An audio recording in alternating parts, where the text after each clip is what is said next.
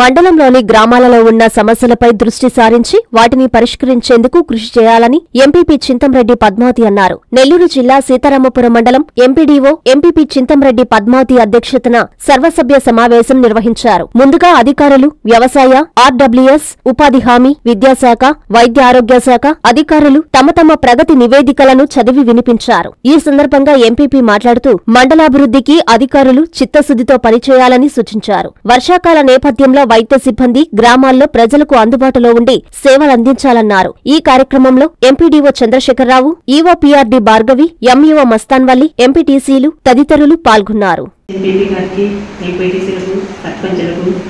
అధికారులకు ప్రజాప్రతినిధులకు పత్రికా విలేకరులకు అందరికీ కూడా నా యొక్క నమస్కారాలు తెలియజేస్తున్నాను.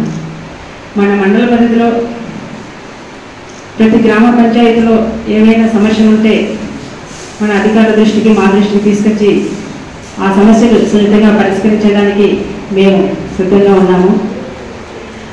అధికారులందరికీ కూడా చెప్పడం జరుగుతుంది.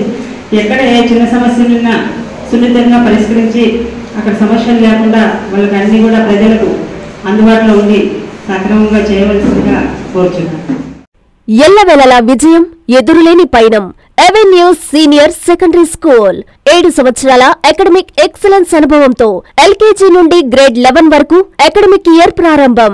అనుభవజ్ఞులైన అధ్యాపకులచే విద్యా బోధన విశాలమైన తరగతి గదులలో క్లాస్కి ముప్పై మంది చొప్పున విద్యార్థుల సంఖ్య. Computer lab science lab maths lab library digital class rooms లాంటి మెరుగైన సౌకర్యాలతో విద్యా బోధన ఎల్కేజీ నుండి గ్రేడ్ లెవెన్ వరకు అడ్మిషన్లు జరుగుతున్నవి ట్రాన్స్పోర్ట్ సౌకర్యం కలదు.